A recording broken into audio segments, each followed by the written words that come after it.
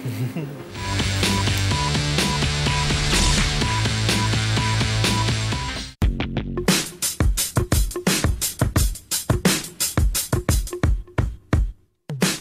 ce faceți când plouă și e urât afară? Eu una merg la cumpărături. Așa că am venit astăzi la târg și m-am întâlnit și cu Laura Călin, care a organizat toată nebunia asta de aici. O nebunie de V4 Vintage la ediția 12-a, Portobello Market și cu o grămadă de oameni, o grămadă de expozanți, adică peste 100 de expozanți, se strâng în cele două zile peste 3000 de oameni, indiferent de vreme, și uh, o grămadă de colecții noi pe tematică, de comori vintage, de bunătăți și de neratat. De bunătăți? Dar tu ce faci? Mănânci hăinuțele? Ah, nu, mănânc uh, mâncarea vegetariană, ro-vegană, pe care o aducem aici de fiecare dată. Chiar e un portobello. Exact cum e în Londra, așa e și aici. Există mâncare, există vintage, există colecție designeri și good vibe și atmosferă. Haideți să investigăm misterele creierii unei pălării perfecte. Da și faci? Anyway, Mărie, e alta cu altă pălărie? Sau e aceeași mărie? E o altă mărie cu o altă pălărie, niciodată aceeași mărime cu aceeași pălărie. Niciodată. Pentru că uite câte pălării pot exista pentru toate măriile din România.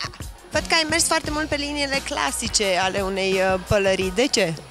Da, pentru că sunt uh, foarte, foarte ușor de asortat la orice ținută. Mai nou, uh, doamnele și domnișoarele caută foarte mult uh, pălăriile de bărbați pentru pentru a le asorta la diferite ținute, iar uh, bărbații mai îndrăzneți abordează pălării de femei, cum ar fi această culoare și această linie. Uh, aș vrea să-l văd pe micuțul cu astfel de pălărie.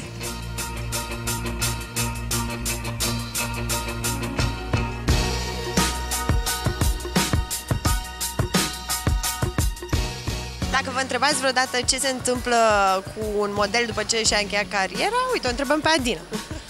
Uh, bună, Laura! Ei, bună, Adina!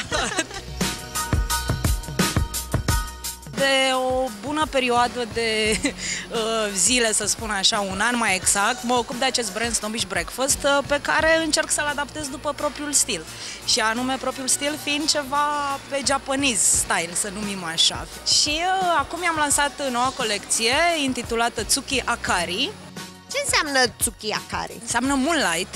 Traducerea mutamo ar fi o lună albă pe un cer negru. Tocmai de asta colecția este făcută din alb și negru. Uh, Materialele sunt destul de prețioase, dar în același timp foarte comode, și anume bumbac și mătase și stofă. Haideți să spunem uh, la revedere în uh, japoneză oamenilor de acasă. Mulțumesc, arigato gozaimasu, Laura. Arigato gozaimashita, Adina! Uh, și pă, la revedere! Și sayonara. Ah, sayonara!